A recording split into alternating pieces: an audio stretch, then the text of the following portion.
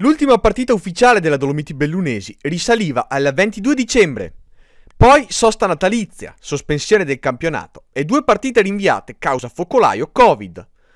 Un grande rammarico in casa della formazione provinciale, che era quinta in classifica nel girone di Serie D e stava ottenendo una serie di ottimi risultati.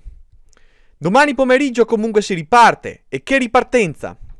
Alle 14.30 sul sintetico di Sedico l'avversaria sarà la Luparense, terza in graduatoria, a quota 32 punti. 5 in più della Dolomiti, rispetto a cui però ha una gara giocata in più. Insomma subito un partitone, a cui tra l'altro farà seguito la settimana prossima la trasferta sul terreno della capolista Arzignano. Sono due le assenze pesanti nella rosa allenata dal tecnico Renato Lauria, che non potrà contare sull'attaccante Raimondi e il difensore Trevisan. Alla gara potrà assistere il pubblico, nel limite del 50% della capienza dell'impianto di Sedico. Gli appassionati di sicuro non mancheranno, considerando anche che il calcio regionale è ancora fermo.